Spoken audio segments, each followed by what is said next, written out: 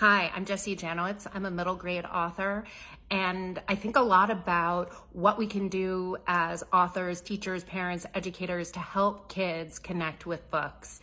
And one thing we can do that sometimes people don't think about is say it's okay that you're not connecting with a book.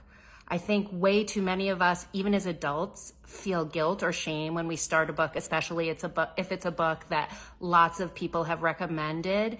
Um, we feel very shameful about the fact that we don't like the book. And then instead of just putting it aside and trying to find another book that we do connect with, I think we stop reading altogether, thinking or lying to ourselves that we're going to go back and somehow magically connect to this book.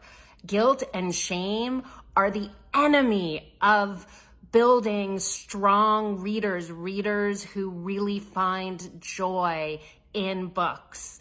Um, so one thing we can do is, is say it's okay not to like this book. And I think we do that also by example, by, by showing kids that we started a book and we just didn't connect to it. Um, and by going to the library, you eliminate a lot of the guilt that happens when a kid has bought a book or someone has bought a book for a child and they feel guilty about not reading it. But if you go to the library, there's no cost in deciding that you're going to put that book aside and find another one. Guilt and shame have no place in creating book lovers, reading lovers. Thanks. Bye.